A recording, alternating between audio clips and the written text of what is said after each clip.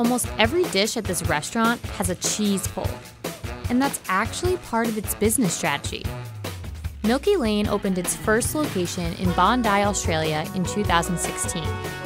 The business took off quickly, raking in $2.2 million in its first year by serving customers over the top dishes like mac and cheese croquettes, lasagna burgers, and Reese's peanut butter milkshakes.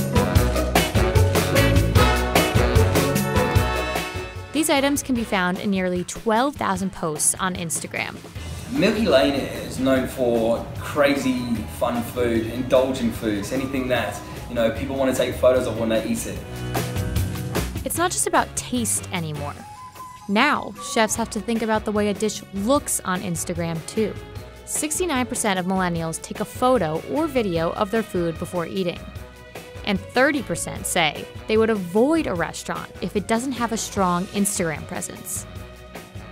Milky Lane dishes embody the type of food Instagram users just can't look away from massive double stacked burgers and decadent chocolate milkshakes.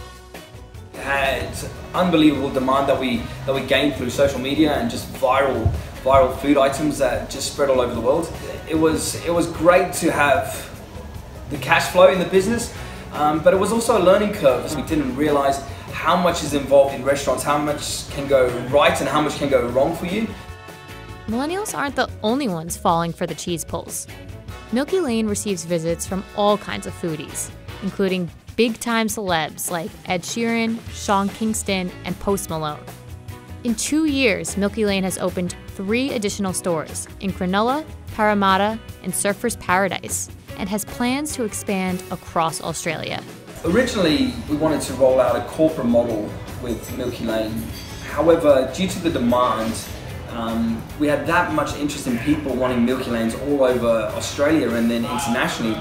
The restaurant plans to expand to 10 stores by the end of 2018, and they hope to quadruple that number to 40 stores across Australia by 2020.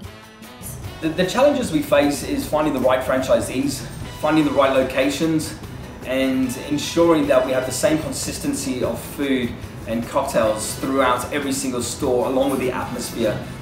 They aren't as focused on flipping burgers anymore. Instead, it's about maintaining the same original feel in each new space. Milky Lane plans to, to maintain our boutique feel by only rolling out a limited number of franchises.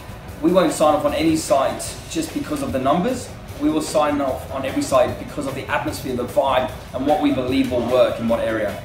If it's working for Ed Sheeran, count me in. For Business Insider Today, I'm Taryn Varricchio.